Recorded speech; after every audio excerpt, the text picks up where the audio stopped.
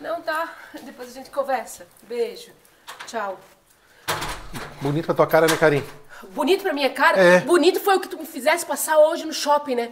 O que que aconteceu com meus cartões de crédito, David? Teus cartão são os meus cartões e eu bloqueei tudo. Tu tens que entender, Karim, que tu é minha propriedade. E eu olhei no guarda-roupa, tu saísse com essa roupa assim? Tu acha que é roupa de mulher casada? Ai, David, eu não- Sair sozinha? Eu não vou nem discutir agora contigo, que eu não tô nem com cabeça. Escuta, tá? Karim, Karim, eu não mandei tu sair.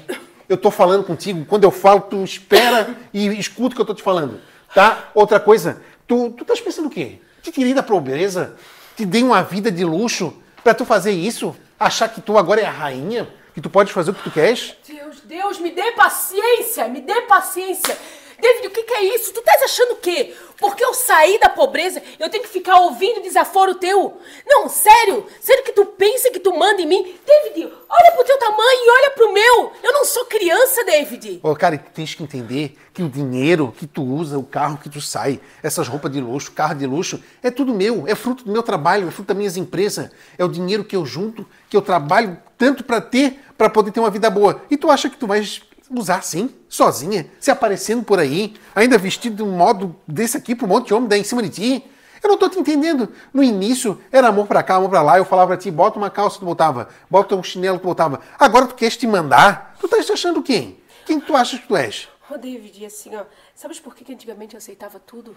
Porque eu não enxergava o meu valor, tá? Tá maluco? Tá ficando é besta. Assim, ó, eu já vou te falar. Tu toma cuidado com o que estás fazendo. Porque pra mim te largar e tu voltar pra miséria, da onde tu veio, é dois toques, tá? Botar pra miséria. David, eu vou. Tu lembra disso aqui que a gente botou no dedo? Pois é.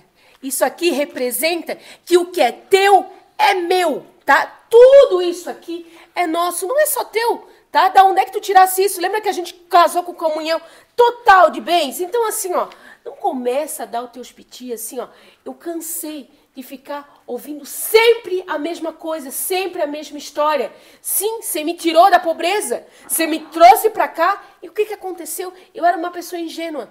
Hoje eu consigo me impor, tá? Eu não vou ficar ouvindo desaforo de marmanjo, que nem é meu pai. Bem que me falaram que era pra me tomar cuidado, pegar uma pessoa do meu nível. Aí eu fui cair na tua lábia. E assim, Carió, tu achas que o dinheiro que tu vai pegar da metade que eu tenho vai, vai durar pra vida inteira?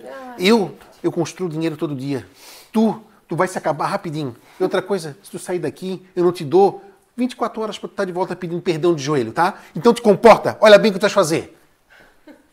Bonito, ele acha, ele acha que eu tenho cara de criança, mas ele não perde por esperar, tem uma surpresa pra ele. Gente, sinceramente, tá? Por mais que ele tenha me tirado da pobreza, vocês não acham que eu tenho direito a tudo? Que eu sou agora dona desse lugar? Essa forma é a forma certa de um homem tratar uma mulher, uma esposa? Deixa aqui nos comentários que eu quero saber a sua opinião.